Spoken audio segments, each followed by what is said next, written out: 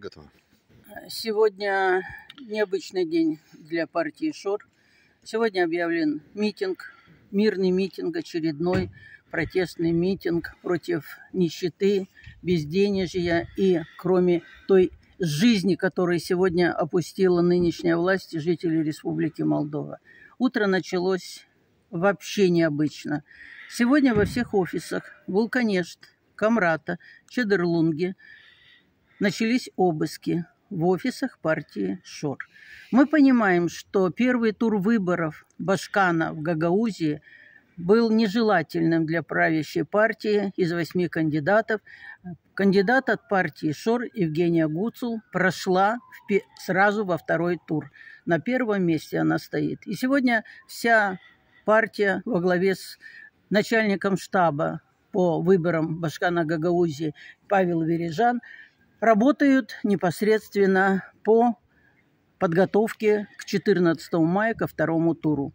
Мы прекрасно понимали, что не выставив своего кандидата, правящая партия, так же, как и в Бельцах, если вы помните, ночью сняла Марину Таубер за пирожки и булочки с выборов э, примара муниципии Бельцы. Конечно, мы понимали, что Гагаузия – это тот район, причем многочисленный район, это автономия, единственная автономия в республике. И, конечно же, это не радовало и не радует правящую партию. Мы ждали, что какие-то все-таки провокации будут. И вот сегодня обыски.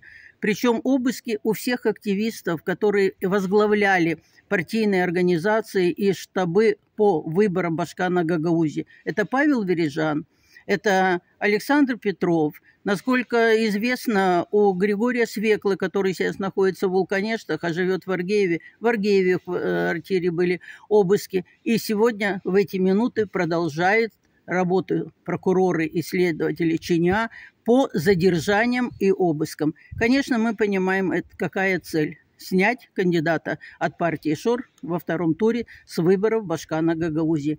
Мы считаем, что эти действия правящая партия еще раз доказывает, что она боится партии ШОР, она боится людей, которые поддерживают партию ШОР. И сегодня действительно в Гагаузии люди хотят перемен. И люди поверили партии Шор, тем более рядом с ними находится Тараклия, где три с половиной года примар Вячеслав Лупов, вчера был как раз день города, и там представители автономии были на этих праздниках, они видят изменения в Тараклии, они хотят эти изменения и у себя. Точно так, как в прошлом году хотели этих изменений жители города Бельц.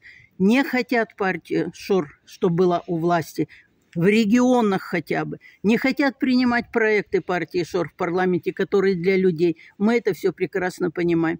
Поэтому это давление и узурпация власти, которая сегодня есть, она и привела к тому, что сегодня происходит.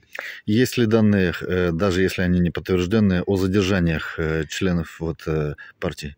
На утро я слышала только о том, что задержали Александра в Камрате.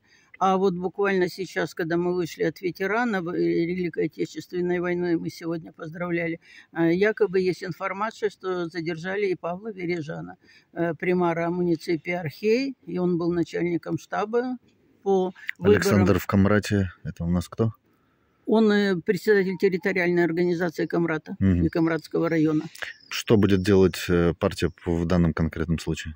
Естественно, будут работать адвокаты, так как это всегда и было, будем отстаивать свои позиции. Спасибо. Все.